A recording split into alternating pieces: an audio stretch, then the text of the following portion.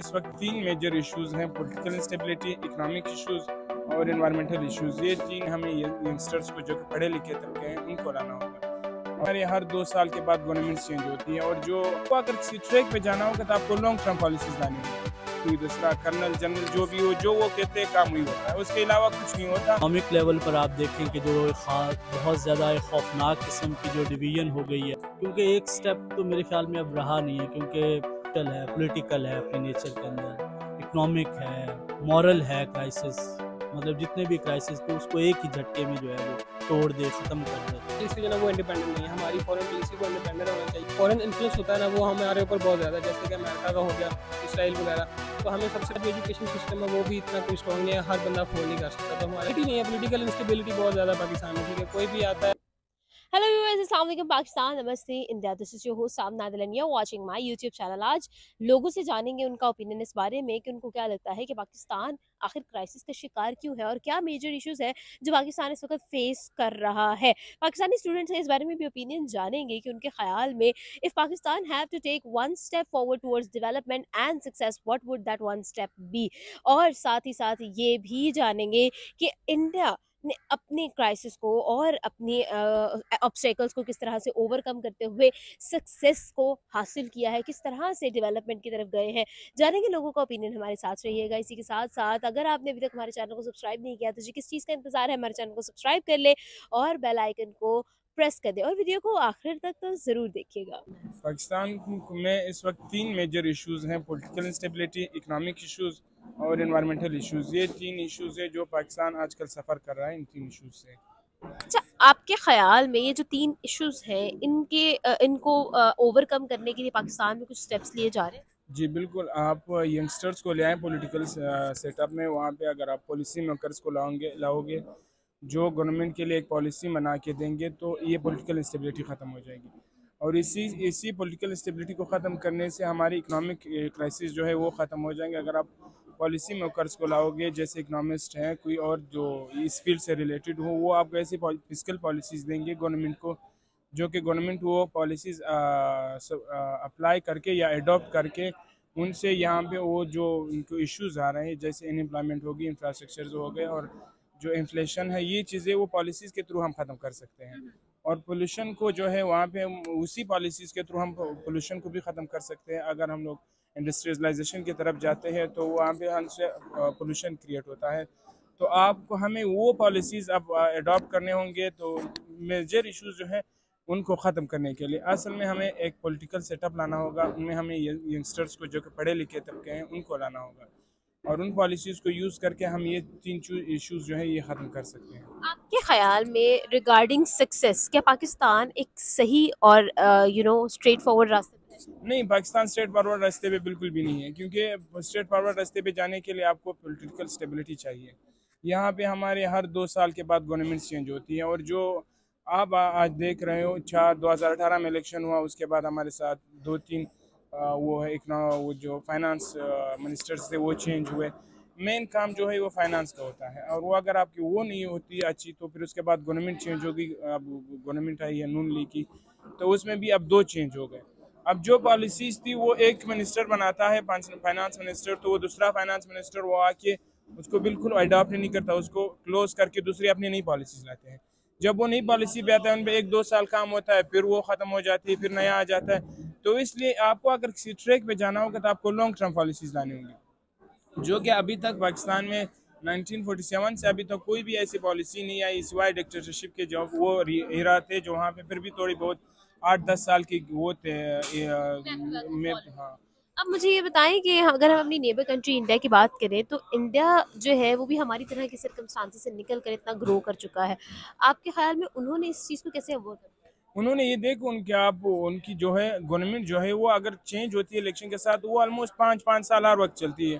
उनके जो एक फाइनेंस मिनिस्टर आता है या कोई दूसरा पॉलिटिकल उनकी जो बेसिक चीज़ है पॉलिटिकल स्टेबिलिटी वो है। और एक दूसरा चीज़ है यहाँ डिक्टेटरशिप पाकिस्तान का असल मसला जो है वो सिविलियन गवर्नमेंट और डिक्टेटरशिप का है। यहाँ कंट्रोल हम लोग नहीं कर रहे। पॉलिटिकल जो है वो बिल्कुल ज़ीरो है। वहाँ जो ऊपर से जो ऑर्डर्स आते हैं, वही फॉलो होते हैं। वहाँ पे जो है आप डिक्टेटर्स देख ले, वो अपने काम कर रहे हैं बॉर्डर्स पे खड़े हैं, वो अपनी अपनी महदूद तक महदूद है।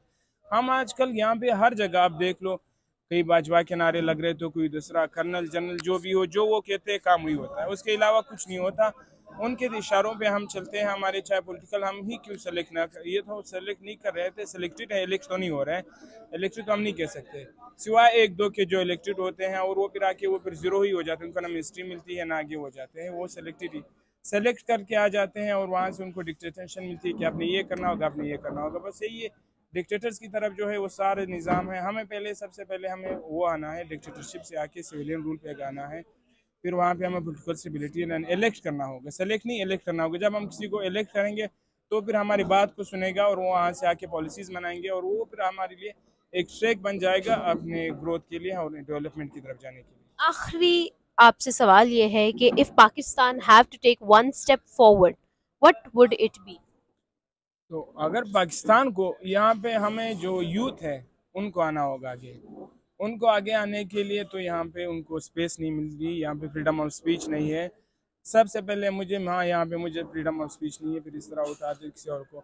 हम आएँगे आगे, अगर यूथ को आगे आने देंगे ये लोग ऊपर से तो एक तो ये है कि डिक्टेटरशिप को जो है यहाँ पे जो आर्मी है, उनको पॉलिटिकल पॉलिटिक्स से जो है दूर होना चाहिए।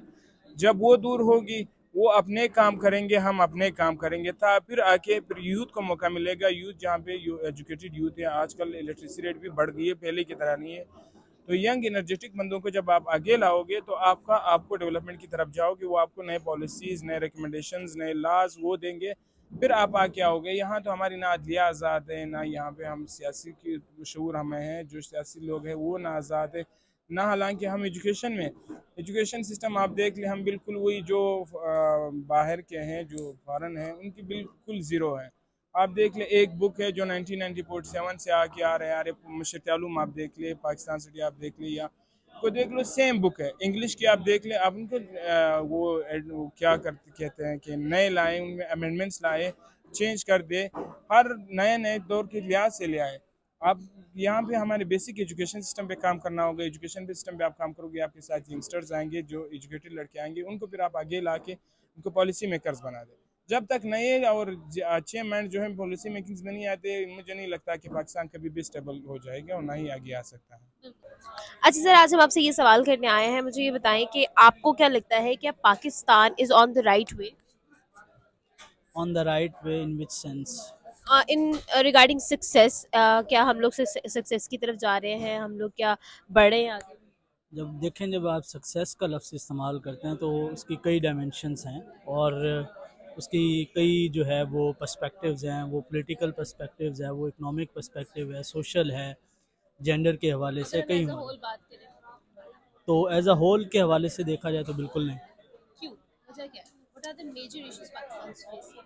इसकी कई वजूहत हैं मतलब जो अगर इसको थोड़ा सा रिड्यूस किया जाए तो एक पॉलिटिकल लेवल पर जो है वो एक ख़ास किस्म की पॉलिटिकल कॉन्शियसनेस का पॉलिटिकल मेच्योरिटी का ना होना है।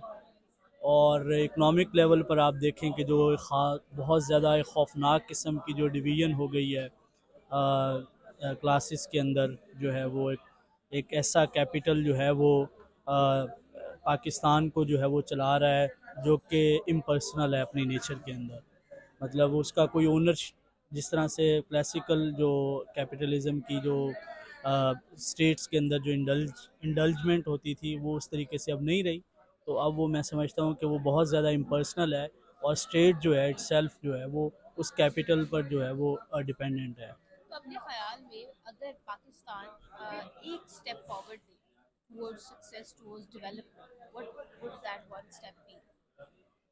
हाँ ये मेरे ख्याल में जो है ना, बहुत ज़्यादा कॉम्प्लिकेटेड है कि एक स्टेप क्योंकि एक स्टेप तो मेरे ख्याल में अब रहा नहीं है, क्योंकि जो जितनी भी मतलब दुनिया के अंदर हम जितनी भी स्टेट्स वगैरह देखते हैं, उनके अंदर एक जो है वो एक डाइवर्सिफाइड किस्म के जो है वो जो पर्सपेक्टिव्स हैं वो प्रिवेल करते हैं, वो हर सेंस में करते हैं।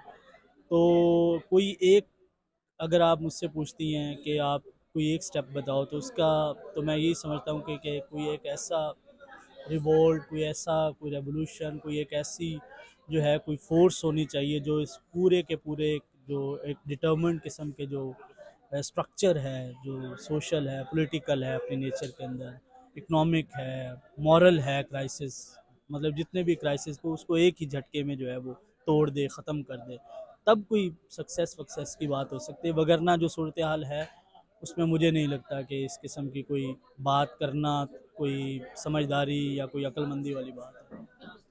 बताया अली कि इफ़ पाकिस्तान जो है पाकिस्तान को इस वक्त किन इश्यूज़ का सामना है और आपको क्या लगता है what are the major issues Pakistan is facing Pakistan के सबसे पहले तो जनाब फॉरेन पॉलिसी जो है ना वो इंडिपेंडेंट नहीं है। हमारी फॉरेन पॉलिसी को इंडिपेंडेंट होना चाहिए ठीक है ताकि हम अपने क्योंकि जो फॉरेन इन्फ्लुएंस होता है ना वो हमारे ऊपर बहुत ज़्यादा जैसे कि अमेरिका का हो गया इसराइल वगैरह।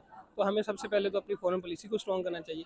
उसके बाद हमारा जो एजुकेशन सिस्टम है, वो भी इतना कोई स्ट्रॉन्ग नहीं है, हर बंदा अफोर्ड नहीं कर सकता। तो हमारा एजुकेशन सिस्टम है ना, उसको भी बेटर होना चाहिए। इस तरह काफ़ी सारे इशूज़ हैं जो हमें मतलब रिजॉल्व करने चाहिए। उनमें सबसे जो मेन चीज़ है, वो ये है कि जो हमारा पोलिटिकल इंटरफेरेंस है ना जैसे कि आपको पता है आर्मी की होगी जो भी हमारे लॉ इन्फोर्समेंट एजेंसीज है उनकी जो पोलिटिकल इंटरफेरेंस है ना उसको कम करना चाहिए। ये हमारे मेजर इशू इनको अगर ओवरकम कर लेंगे तो हमारे हालात बेहतर हो जाएँगे। अच्छा आप मुझे बता सकते हैं कि पाकिस्तान की अगर हम डेवलपमेंट और ग्रोथ को देखें तो क्या पाकिस्तान एक राइट ट्रैक पर है? नहीं पाकिस्तान एक राइट ट्रैक पर नहीं है। देखिए क्योंकि स्टेबिलिटी नहीं है पॉलिटिकल इंस्टेबिलिटी बहुत ज़्यादा पाकिस्तान में ठीक है? कोई भी आता है वो अभी भी आप देख लें सिचुएशन ये है कि फ्लड की वजह से इतने लोग सफ़र कर रहे हैं। लेकिन पाकिस्तान में ये है कि अभी भी इलेक्शन हो रहे हैं, अवाम को अपनी पड़ी हुई है और जो हुक्मरान हमारे, उनको अपनी पड़ी हुई है। एक दूसरे की टांगे खींच रहे हैं और अवाम का कुछ भी नहीं सोच रहे तो हमें इसलिए पॉलिटिकल इंस्टेबिलिटी जो वो बहुत ज़रूरी है इसके लिए। अच्छा मुझे ये बताएँ कि अगर हम अपनी नेबर कंट्री इंडिया की बात करें तो इंडिया जो है वो भी हमारी तरह की सर्कमस्टांसेस से गुजर कर अब इतना ग्रो कर चुका है कि that India is now the fifth largest economy in the whole world India ने इतना ग्रो कैसे पहली बात तो ये है कि उनकी जो फॉरेन इंटरेस्ट हैं, वो काफ़ी ज़्यादा दूसरी जो फॉरेन हमारे जो जितने भी फॉरेन डेवलपमेंट कंट्रीज़ हैं डेवलप कंट्री उनके साथ उनके इंटरेस्ट काफ़ी ज़्यादा मैच करता है। दूसरी बात ये है कि उनमें पॉलिटिकल जो स्टेबिलिटी है, वो बहुत ज़्यादा, जैसे कि आप देख रहे हैं सिंस नाइन फोर्टी सेवन से लेकर towards up till now तक, उनकी जो पॉलिटिकल स्टेबिलिटी है, वो बहुत ज़्यादा है। उनमें मतलब आर्मी की या जो भी लॉ इन्फोर्समेंट एजेंसी है, उनकी इंटरफेरेंस नहीं है। ठीक है, ये एक बहुत पॉजिटिव इफ़ेक्ट है, जो मतलब उन पर मतलब उनकी जो तरक्की की जो मेन रीज़न है ना, वो एक ये चीज़ भी है। तो मुझे ये बताए कि if Pakistan has to take one step forward towards development what would it be political instability Pakistan में पॉलिटिकल इंस्टेबिलिटी होनी चाहिए जिसके लिए हमारी जितनी भी एजेंसीज हैं या जो भी आर्मी है पॉलिटिकल स्टेबिलिटी होनी चाहिए, जो भी एजेंसी इनकी इंटरफेरेंस नहीं होनी चाहिए। जब ये इंटरफेरेंस खत्म हो जाएगी तो इंस्टेबिलिटी आ जाएगी जी, मैं लोगों से की बात जाना उनका ओपिनियन आप तक शेयर भी किया, उम्मीद करती हूँ आज की वीडियो आपको बहुत पसंद आई होगी। आप नादों को दे इजाज़त और देखते रहे हमारा यूट्यूब चैनल साथ ही साथ जी, अगर आपने अभी तक हमारे चैनल को सब्सक्राइब नहीं किया तो जल्दी से सब्सक्राइब कर ले बेल आइकन को प्रेस कर दीजिएगा, ताकि हमारी तमाम तरह अपडेट सबसे पहले आप ही को मिले।